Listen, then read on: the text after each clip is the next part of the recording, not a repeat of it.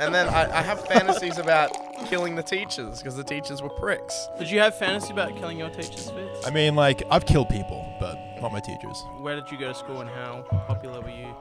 I was not popular in like regular school, and then I went to a really weird school when I was like 14, whereas which is where I met Toby, my co-host on the Misfits podcast. It was like a private school, but it wasn't an expensive private school. It was very weird, very niche. It was like 50 kids there. Oh wow. Wow. Yeah, so it was. Was Is that because boys you're, only? is that 'cause you're Nah, boys and girls. small town or? No, I, I lived in Auckland, New Zealand, so it's like it's pretty big. It's like Melbourne, but smaller. It's like the only place that I know from New Zealand. Auckland. I Auckland. would say, yeah. That's Yeah. the only that's the only city I've been. When did it get laid? it's kind of a boring city, but you know, it was great. I mean, I didn't really have any. I didn't have like a dark childhood or anything. Well, what was the Pretty- what, pretty- Chat's, chat's like probing. Well, something. mine, There's not really any clickbait. dirt there. You know, I had a kind of rough the- time in, in primary school, I guess, but that was about it. ev- everyone has a rough. Everyone has time a rough time, you know. Why? What was the decision between your family sending you off to a boarding school?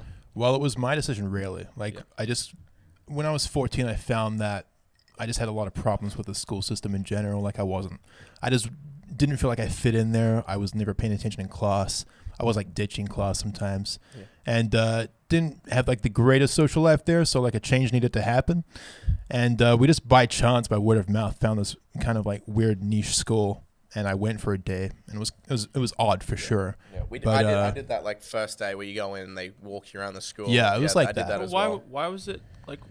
You're Well, saying it's like uh, this niche school. This but is like a big to be, like, topic a to get weird into. I'm just thing. letting you. It, it was a weird place. I've talked about it on our podcast, uh, Ah. which is the Misfits podcast. What- do you remember what episode it was? Uh, epi- episode 37. Yeah, we went into uh, to uh, to it in depth there, but I mean, basically, this was a school with no classrooms. There were no real teachers. They were quali- they, they were qualified as teachers, but they didn't behave like teachers. There was no like lessons. It's like some experimental school. It was experimental for sure. It was kind of like a borderline hippie almost. yeah. But in the co- I mean, honestly, I'm very grateful for this school because I feel like I came out of it with a bunch of social skills that I wouldn't have. You also came out of it with like a lifetime friend. Yeah, well, big time. thing, I made a lot of really good friends at that Yeah. school because it was so close. You you couldn't really afford to fall out, and like if you had problems with each other, you had to work through it Yeah. um, or leave basically because you're gonna have to see them every day. You know what I mean? yeah. Well, So- it's like they say for normal schools, even now, like a lot of them were designed to produce factory workers. Yeah. Well, in the Industrial Revolution. Yeah, Yeah. so it's like that's a whole different thing where someone's going against the grain to make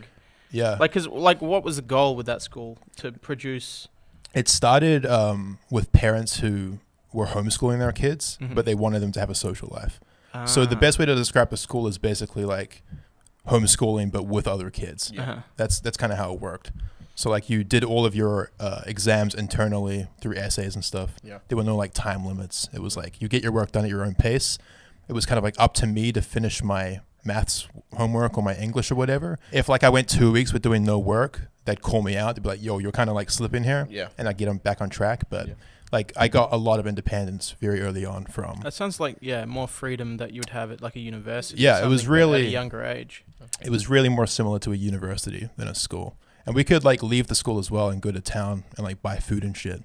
You know, Oh, we wow. could This like is- sign this, out. This is the complete like opposite to my boarding school. Yeah, I can imagine. sound Boarding the school sounds- opposite of boarding school. Boarding school sounds rough.